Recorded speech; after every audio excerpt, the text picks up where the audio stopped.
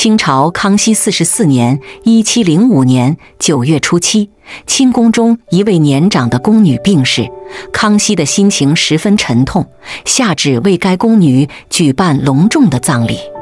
这次葬礼有三个比较特殊的地方：第一，这位宫女已经九十三岁了，历经天命、天聪、崇德、顺治、康熙五个时代；第二，康熙不仅亲自过问她的葬礼，还给礼部下旨，要按嫔妃之礼来办理这位宫女的丧事。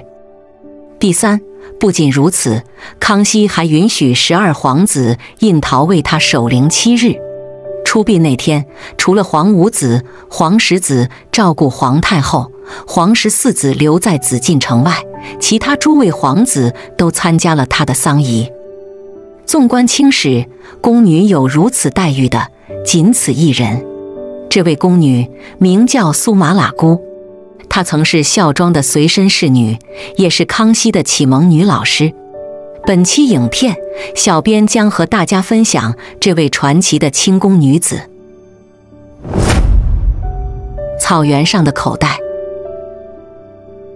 提起苏玛喇姑，就不得不提她的主子布木布泰。后者还有一个大家耳熟能详的名字——孝庄文皇后。约在明朝万历四十一年，孝庄出生在科尔沁草原上。她的父亲是蒙古科尔沁草原上的贝勒。孝庄是家族的二小姐，身为蒙古贵族，她刚出生就注定和别人不同。按照惯例，等孝庄到了孩提时代，家族就要为她挑选同龄侍女。约在孝庄五六岁的时候，贝勒府挑中了一位叫苏沫儿的女孩。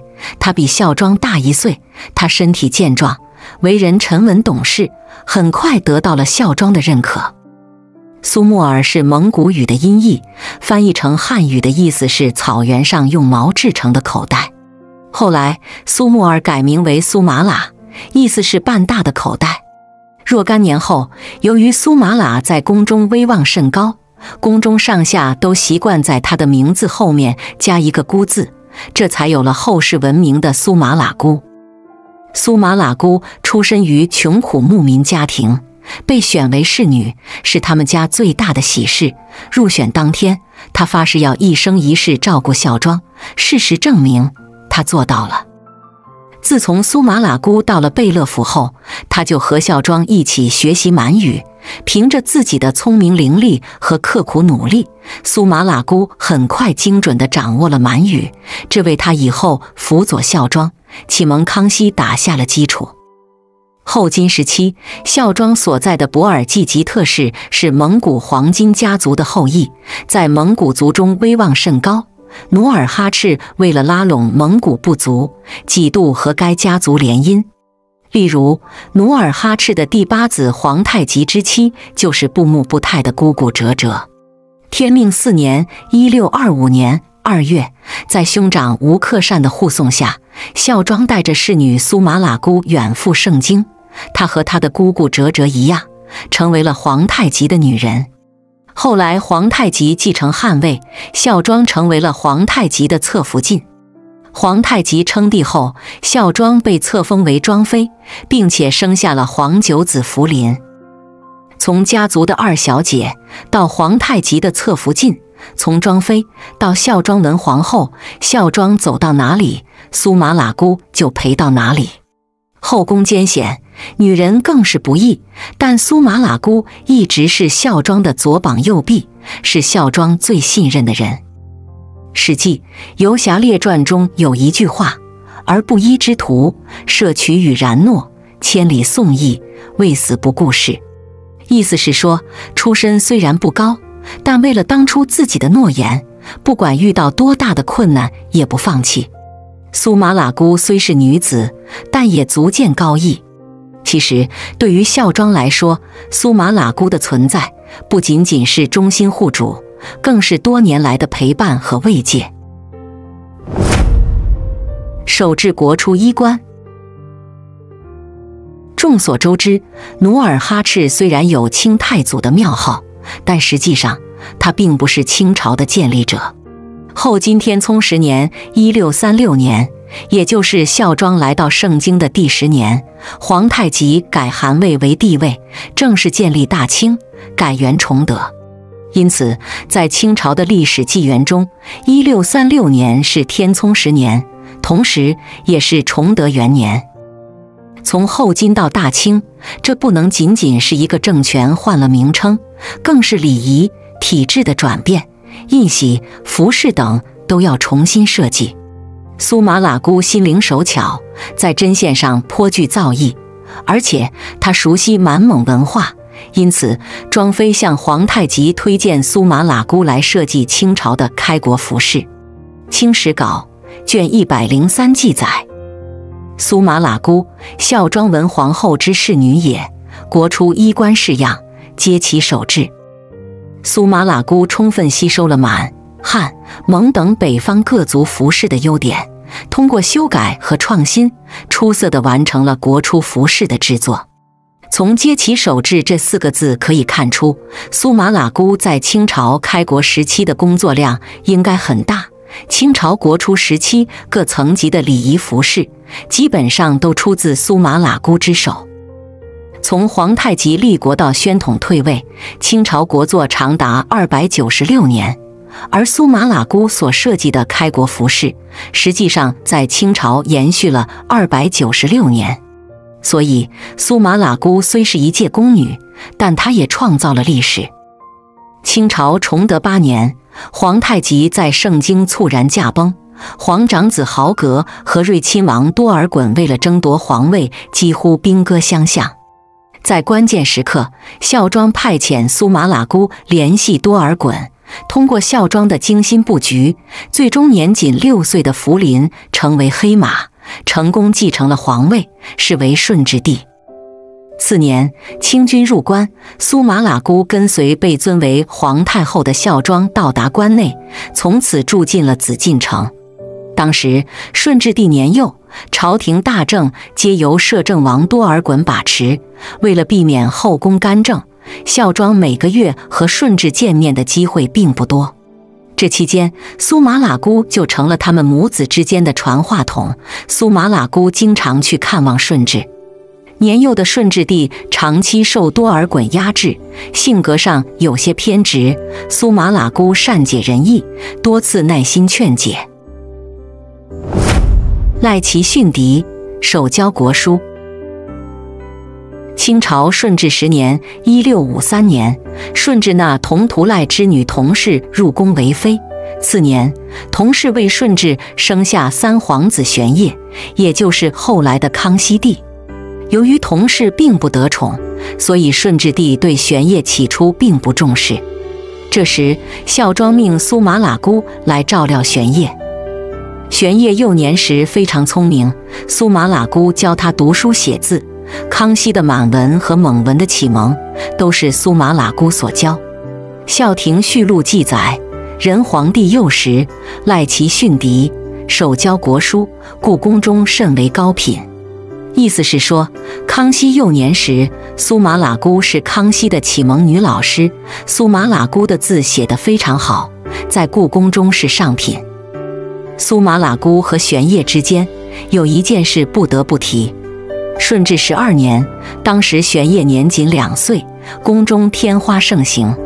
顺治和孝庄商量，把宫中的诸位皇子全部转移到宫外避斗。后来玄烨染上天花，居住在北京西华门外的福佑寺内。苏麻喇姑奉孝庄之命，日夜守在玄烨身边。在那个年代，天花的致死率极高，一旦染上天花，很难幸免。但在苏麻喇姑的照料下，玄烨神奇的痊愈了。康熙后来曾回忆说，世祖张皇帝因朕幼年时，令保姆护侍于紫禁城外，父母膝下，未得一日承欢。这里的保姆指的就是苏麻喇姑。从这句话可以看出，康熙年幼时因为天花的原因和父母分开相当长一段时间，这期间多亏苏麻喇姑的照顾。事实上，根据传教士汤若望的记载，顺治帝后来之所以传位给玄烨，也得益于玄烨曾战胜过天花病毒。换句话说，若没有苏麻喇姑的悉心照料，便没有玄烨，更没有后来的康熙大帝。顺治十八年，顺治帝驾崩，玄烨登基，是为康熙帝，孝庄被尊为太皇太后。当时，顺治留下索尼、鄂必龙、苏克萨哈、鳌拜四人辅政。苏麻喇姑和当年顺治年幼时一样。每日早晚都往返于乾清宫和后宫之间，一方面向孝庄汇报康熙的情况，另一方面也向康熙传达孝庄的关爱。苏麻喇姑比康熙大四十二岁，康熙视她为长者，对她非常尊重。康熙亲政后，孝庄正式退居幕后，苏麻喇姑因此才很少出现在人们的视野中。小编之前写过孝庄。我认为，在古代著名的后宫女子中，孝庄的格局是罕见的。孝庄有做吕后的机会，但她却不想这么做。他把康熙培养成一位优秀的帝王，而在孝庄对康熙的一系列栽培之中，苏麻喇姑是不可或缺的参与者。十二皇子的姑妈。清朝康熙二十六年腊月，孝庄太皇太后病危，康熙亲奉汤药，日夜陪伴在祖母身旁。十载，康熙曾亲自率领文武大臣到天坛跪求上苍，宁愿折损自己的性命，也希望留住祖母。和康熙一样，苏麻喇姑一直守在孝庄的佛堂之内，她连续跪经多日，只求能延长她主人的寿命。孝庄是一位伟大的女子，她辅佐三代帝王，为大清朝做出重大贡献。《清史稿》说她宗一代之兴亡，系于功伟。然而，自然规律是无法违逆的。当月二十五日，大清朝第一位太皇太后走完了自己的人生旅程，安然地离开人世，享年七十五岁。孝庄的去世意味着康熙的彻底成熟，他的身后再无后盾，同时也意味着苏麻喇姑的人生开始走向沉寂。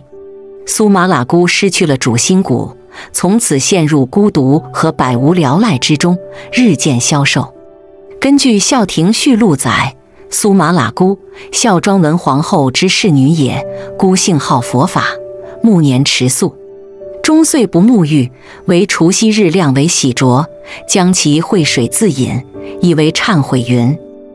苏麻喇姑晚年笃信佛学，一方面是因为孝庄信佛，另一方面也是因为她晚年孤独，佛家思想能够让她适应寂寥的生活。苏麻喇姑还有一个非常罕见的习惯，她终年不洗澡，只有在一年的最后一天。即除夕当天，用少量的水洗身体，事后还要将洗澡水喝掉，以表达自己的忏悔之意。孝庄去世时，苏麻喇姑已经七十六岁。康熙见她日渐消沉，最终决定将庶妃万流哈氏所生的十二皇子胤桃送到苏麻喇姑处，希望苏麻喇姑来抚养胤桃。清廷有规定。嫔位以下的后妃是没有资格抚养皇子的，即使是亲生儿子也不行。但康熙却把一位皇子堂而皇之的交给苏麻喇姑这位老宫女来抚养，不仅能看出康熙对苏麻喇姑的重视，更能看出对她的信任。其实，康熙让苏麻喇姑抚养胤桃，目的是为了不让她沉寂下去。事实果如康熙所想。有了印桃在身边，苏麻喇姑重新忙碌起来。她每日教印桃读书写字，陪印桃玩耍。根据史料记载，印桃和苏麻喇姑的感情非常好。印桃还称苏麻喇姑为姑妈。苏麻喇姑一直陪伴印桃十余年，直到印桃成年独立开府。在苏麻喇姑的教导下，印桃养成了沉稳无争的性格。古人云：“治国平天下之权，盖以母教为本也。”康熙晚年，诸子夺嫡，胤桃当时虽然早已成年，却没有参与其中，这里面少不了苏麻喇姑的教导。清朝的传奇宫女。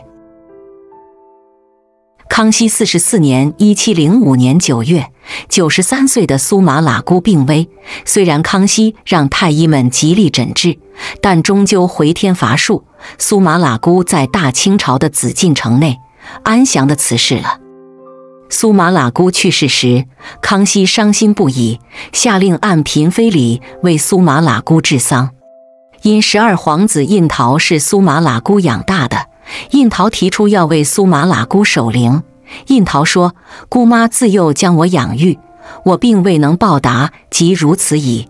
我愿驻守数日，百日内供饭，三七诵经。”对于胤桃的如此请求，康熙欣然应允。不仅如此，康熙还下旨让除了五皇子、十皇子、十四皇子以外的所有皇子都参加苏玛喇姑的丧仪。需要说明的是，康熙虽然尊敬，但苏玛喇姑在康熙朝并没有下葬。由于特殊的历史原因，孝庄去世时曾留下遗嘱，不愿打扰皇太极，实际上是不希望自己和皇太极合葬。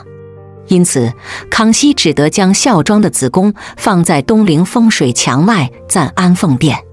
因为苏麻喇姑是孝庄的侍女，康熙念他们主仆情深。苏麻喇姑去世后，康熙将她的灵柩也停放在孝庄之旁。中康熙一朝都未入土。清朝雍正三年，昭西陵修建完成，雍正将孝庄文皇后入土为安，但如何安葬苏麻喇姑却成了一件棘手的事情。